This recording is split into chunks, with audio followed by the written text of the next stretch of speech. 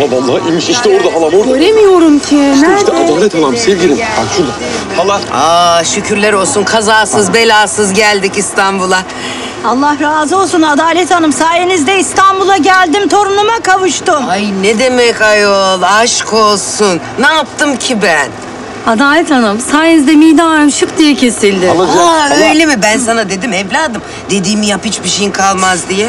Ha o kocanın sırt ağrısı için de sabah ayazında bekletilmiş kayısı pestilinin üstüne dövülmüş karabiberi kuru patlıcanla karıştırıp dökeceksin. Alıp sırtına yapıştıracaksın. Gör bak hiçbir şeyciği kalmayacak.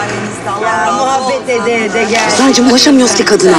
Ya şuradan sıraya geçin nasıl olsa kalabalık bir şekilde dağılacak elbet yani. Pardon. Aa, Beyefendi. inşallah Hala. İnşallah. Adana'da Hala. görüşelim inşallah. Kadındaki karizmaya bak Allah aşkına. İstanbul, aa, Adana İstanbul'a gelene kadar Hayırlı bütün evladım. otobüsü eline geçirmiş Ya yani. abartma sevgilim o kadar değil ya. Sayın Adalet Hanım, otobüsümüz iki dakika geç kaldı. Firmamız adına sizden çok özür dileriz. İsterseniz emredin hemen şoförümüzü kovalım. Aa lüzumu yok evladım geldik işte çok şükür. İşte benim adalet halam. Fark ettim kimse Hala. Hala. Gerçekten kimse saniye. Bir dakika. Bir saniye. Halacığım. Kan bağımız var.